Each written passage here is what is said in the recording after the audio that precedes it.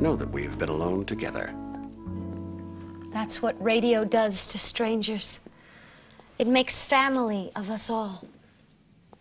Do you have anything to add to that, Miss Redmond?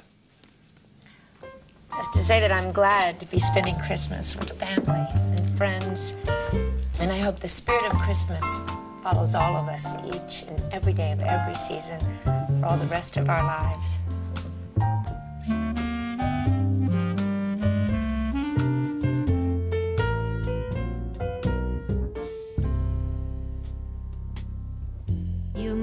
Make it Christmas each morning, and you make every night like New Year's Eve. Then you light up my sky like the 4th of July, such an April fool I to believe.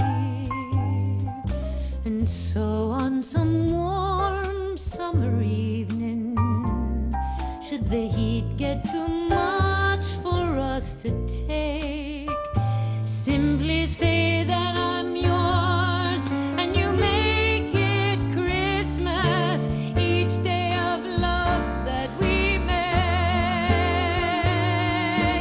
You make it Christmas each morning, and you make every night. Betty? Nobody in the world would have blamed you if you had gone home to Indiana like you planned.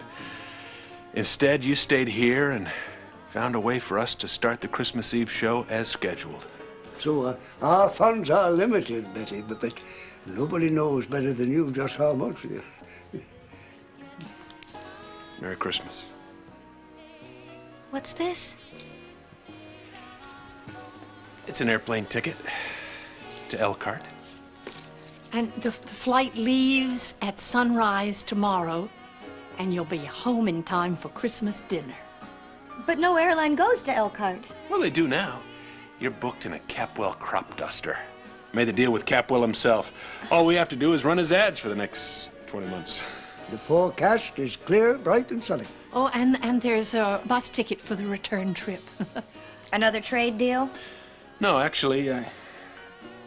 I bought that myself. God bless radio. Or as Tiny Tim once said, Merry Christmas to all, and to all a good night.